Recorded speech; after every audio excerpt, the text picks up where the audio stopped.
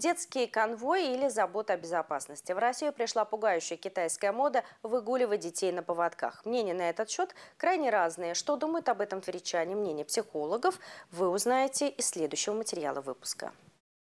По сети начали активно ходить фото с детьми, которые гуляют на поводке. В комментариях и родительских чатах тут же поднялась волна возмущений. Для россиян такое нестандартное решение, разумеется, ассоциируется с выгулом животных. Этого не скажешь о Китае, откуда этот тренд и пришел. В Поднебесной подобная картина на улице, можно сказать, считается нормой. В КНР такое средство придумали для безопасности ребенка, поскольку в густонаселенной стране родители переживают, что ребенка могут попросту украсть. Но тренд позаимствовали и в менее густонаселенной России. России такие приспособления назвали поводками безопасности или детскими вожжами. Они крепятся одним концом к ребенку, к руке или одежде, а другим к родителю или, например, ручке детской коляски.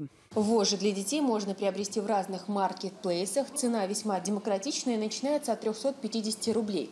Отзывы, кстати, тоже позитивные. Родители отмечают, что гулять с детьми стало проще и удобнее.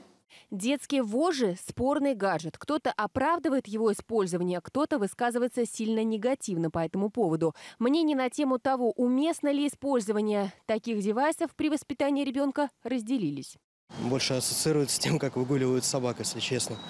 Э, почему бы, допустим, просто не держать их за руку? Считаю, что это в корне неправильно. Это ж не собачки. Просто надо смотреть вовремя не пускать их к дороге или там куда-то в опасное место. И быть рядом с ними, а при чем тут эти застежки? Господи. Кому как удобно, я считаю, ну... Не, ну если... наручники это перебор, я считаю. Не, ну что, вожжи, ну, если вожжи, Вож... За шарфик, по стариночке, за капюшон. А лучше за ручку держать малого. Ну да, конечно. И целовать их больше. На мой взгляд, нет. Ну, мы за руку всегда водили ну, как бы старались, ну, объясняли ребенку, что нужно идти рядом, вместе, чтобы никуда не убегал, особенно через дорогу. Ну, вот это, я считаю, более правильно. По мнению психолога Ольги Павловой, такой гаджет может навредить развитию ребенка. Эти гаджеты, да, сдерживают развитие, потому что у ребенка в маленьком возрасте, год, два, три, высокая познавательная активность через действие, через движение, через а, ощущения. Да? И, естественно, дети склонны везде находиться и все пробовать. И когда они находятся под таким контролем родителя, который связывает их действия, координирует их движение, естественно, познавательная активность ограничивается, ввиду чего ребенок не так активно изучает и познает мир.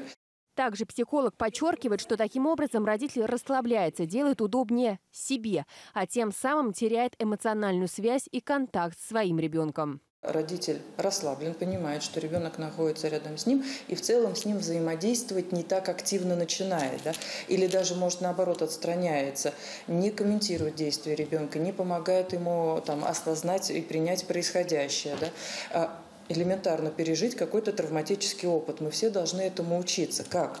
А, находясь в ситуации, да, а если для меня нет этой ситуации, как я научусь быть самостоятельным, проживать этот травматический опыт и преодолевать да, то, что со мной происходит, потому что я все время под опекой, под контролем родителей нахожусь.